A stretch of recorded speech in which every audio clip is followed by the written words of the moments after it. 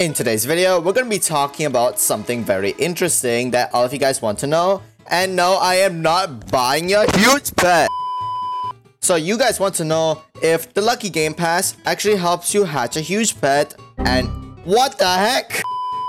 So, so, as you can see over here, an admin did confirm that you can indeed get huges much easier with the Lucky Game Pass. Now, how much does this boost everything by? Like the chances, 2.5 times more. So not really 2.5 times more. You you gotta you gotta you gotta add it with the others. Like you know like uh what is it? So basically it stacks. Okay. So as you can see over here, it stacks with Super Lucky, Ultra Lucky, and also stacks with the Silver Lucky boost if you don't know about it. And also, does the Super and Ultra Lucky boost also work for huge pets? And does the Silver Lucky boost and 25 times luck also work?